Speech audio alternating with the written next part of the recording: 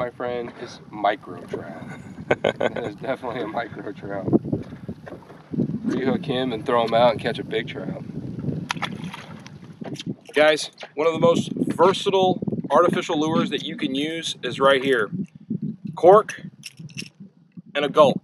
If I had one artificial lure that all I could fish was one artificial lure, this would be it right here. A cork on a gulp. What we're using is the old Bayside Paradise Popper. The nice thing about these corks is that they are no memory, flexible titanium wire. This titanium wire right here, no matter how much you bend it, it always goes back straight. This cork's been fished many, many times and it's still perfectly straight. It doesn't tangle. Really, really nice quality product right here. The other thing we're using, we're using about maybe two and a half feet of fluorocarbon. Uh, this is 25 pound fluorocarbon. I go to a treble hook and we're running a gulp one through the head just like that. When that starts getting a little tore up, I can move it to a different position. Uh, it gives us a real good hook ratio and running it real far forward on the lure also helps us with uh, getting trout hooked too deep. I don't like hooking the trout too deep with the with the cork. So running a treble hook far forward on the bait uh, helps you get nice hook sets in the jaw and in the lip where you're not really hurting the fish, especially if you're catching undersized fish. This is the four inch white shrimp from Gulp with the new uh, chartreuse tails. The tails hold up really well, by the way. Uh, fishing basic uh, Shimano CI4 Stratic reels, and we are fishing about three feet of water right now on a two and a half foot cork. The cork allows me, as I pop the, the, the shrimp, work almost the entire water column. I can reel in a little bit, bring it up to the surface, and let it come back down. I'm fishing almost 100% of the water column. If I got a two and a half foot leader and three feet of water, I don't catch any grass. It's a really effective way of fishing. If you've never fished a cork before, this right here, uh, if I don't know what they're hitting, and it's been a while since I've been on the water, this is what I'm gonna throw. We got action on the water, wrong species, but skipjack. Skipjack blowing up on the water. Birds working the skipjack blowing up on the water. But that right there is how you read the water. You find those skipjack, a lot of times, the next available grass line will hold fish, trout and reds. So we're gonna look for some trout and redfish on the other side of this skipjack. Pelicans are your pelicans are your friends. When you see pelicans, it's only a good sign. Here we go, here we go. One of the tricky parts about fishing a cork is that you have a lot of bag in your line. Your line comes down and then it drops with the cork. So you lose some sensitivity. You gotta be a little harder on the set, not necessarily how hard you push the hook in, but how much slack you have to take out in order for you to get pressure on the hook.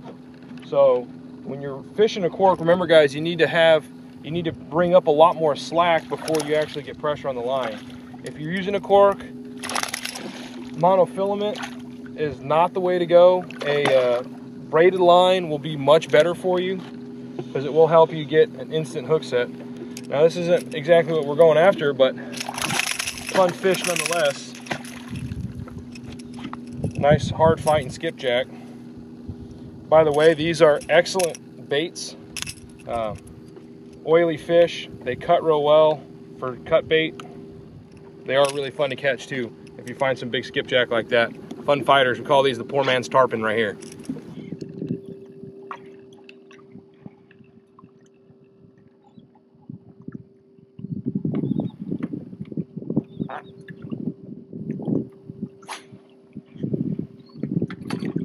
Those working pelicans, always a sure sign of fish. Might not be the right species, but always a sure sign of fish. That's a good one. Look at that fatty.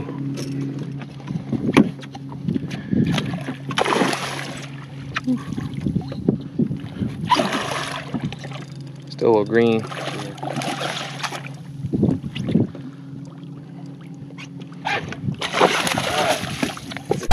Fatty, dude. Nice job. Whew, look at that bad boy. Yeah. He hammered it, dude. All right. Fishing white gulp, jig head, spinning gear.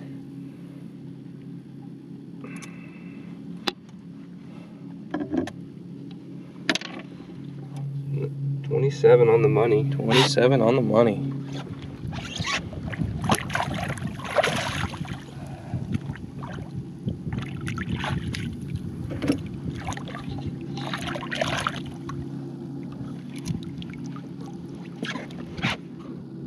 Five and a half pounds.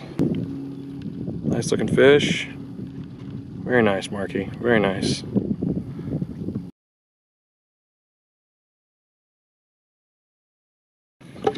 All right. Nice 27 inch trout. Fought hard. She's still nice and lively. Off she goes. I don't think this is a skipjack. But you came and hit it two times already. Screaming drag. Oh yeah. Probably a red, and if it's a red, that's awesome because then we found the area that they're in. I just saw it. Artificial lures today.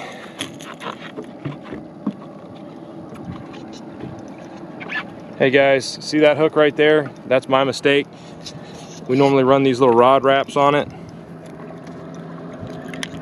Those little rod wraps on it, keep them from hooking your buddy. Got a nice redfish on right now. Yeah.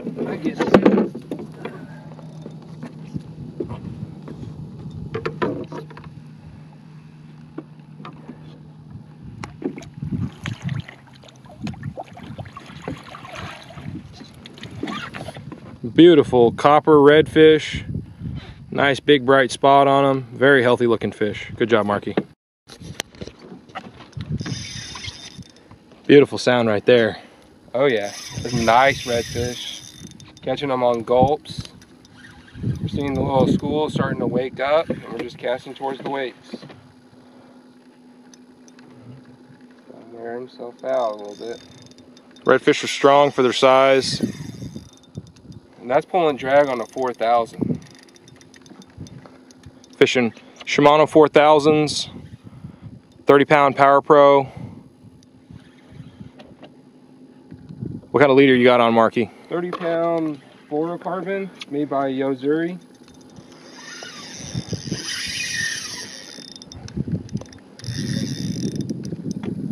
I can't think of a better sound in the world than that right there. Uh, I wake up to that noise.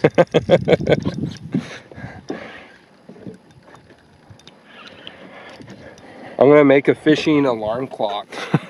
if that's what goes off in the morning. Better than coffee. Oh yeah. This would be the redfish that you'd want to catch on tournament day.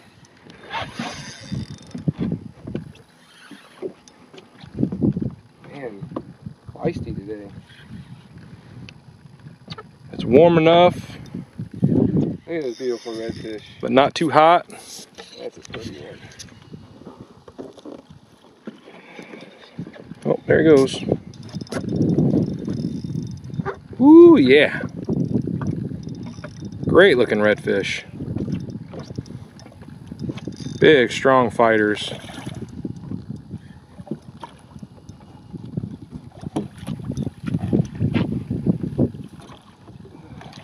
Good job there, buddy. Woo! That's a nice one, dude. That's a great looking redfish. That is a nice one. Nice, big, wide. That is a. I think this tournament red. I keep Let's grab the boga, see how much he weighs. 20, uh, 27. Six and a quarter redfish. Beautiful. Look at that beast. Look at that guy.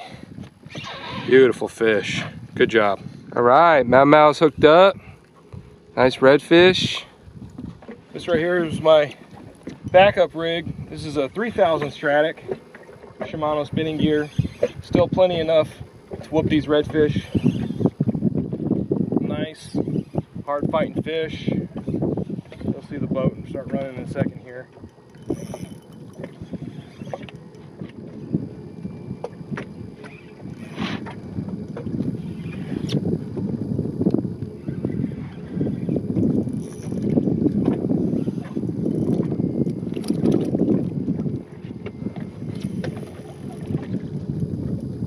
this side of the boat. Oh yeah, Nice, good looking red. nice redfish. Fishing a popping cork with the gulp. We're using the pearl white. This is actually the new uh, shape. I think it's called mud minnow croaker.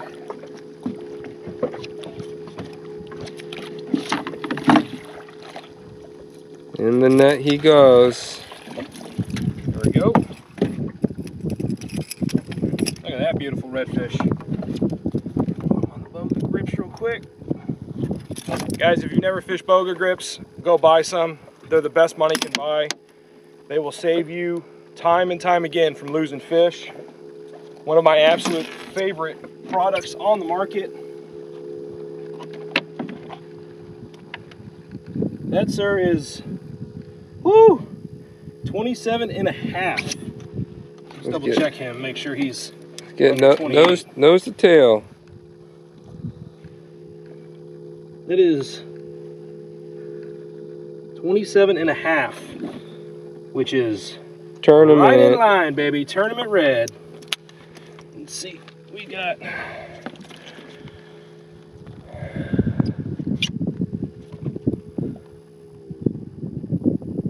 Six and a half pounder. Look Sweet. at that beautiful fish. Beautiful looking redfish. Ah. Way to go. He doesn't always drink Dos Equis, but when the most interesting fisherman in the world drinks beer, he drinks Dos Equis.